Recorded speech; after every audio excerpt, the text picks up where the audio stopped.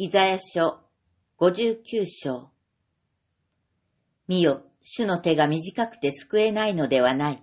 その耳が遠くて聞こえないのではない。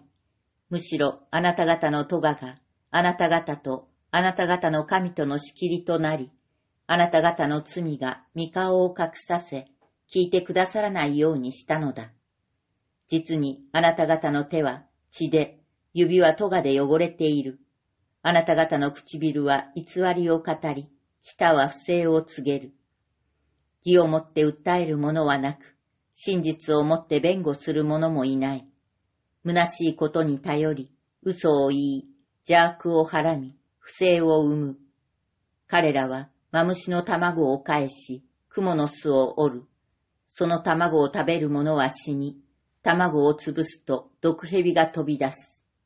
その蜘蛛の巣は衣にはならず、自分の作ったもので身を覆うこともできない。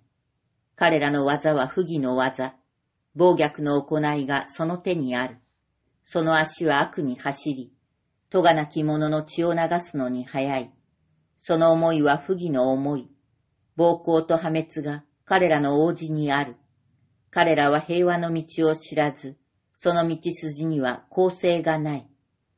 自分の通り道を曲げ、そこを歩む者は誰も平和を知らない。それゆえ、公正は私たちから遠く離れ、義は私たちに届かない。私たちは光を待ち望んでいたが、見よ、闇。輝きを待ち望んでいたが、歩くのは暗闇の中。私たちは見えない人のように壁を手探りし、目がないかのように手探りする。真昼でも、黄昏時のようにつまずき、強健なものの中にいる死人のようだ。私たちは皆、熊のようにうなり、鳩のようにブツブツうめく。公正を待ち望むが、それはなく、救いを待ち望むが、私たちから遠く離れている。それは、私たちの背きが見前で多くなり、私たちの罪が不利な証言をするからだ。誠に私たちの背きは私たちと共にあり、私たちは自分の咎をよく知っている。私たちは主に背き、主を否んで、私たちの神に従うことをやめ、虐げと反逆を語り、心に偽りの言葉をはらんで告げる。こうして、公正は退けられ、正義は遠く離れて立っている。それは、真理が広場でつまずき、正直さが中に入ることもできないからだ。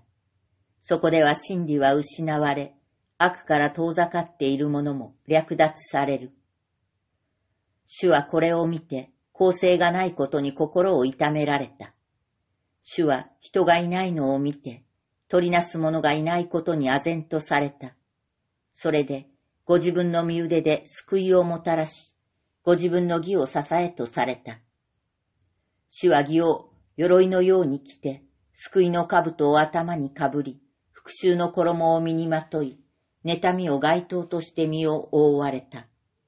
主は彼らの周知に応じて報い、歯向かう者に憤り、敵に報復し、島々にも報復をされる。そうして、西の方では主の皆が、日の昇る方では主の栄光が恐れられる。それは主が激しい流れのように来られ、その中で主の息が吹きまくっているからだ。しかし、シオンには、あがない主として来る。ヤコブの中の背きから立ち返る者のところに、主の言葉。これは彼らと結ぶ私の契約である。主は言われる。あなたの上にある私の霊、私があなたの口に置いた私の言葉は、あなたの口からも、あなたの子孫の口からも、子孫の子孫の口からも、今よりとこしえに離れない。主は言われる。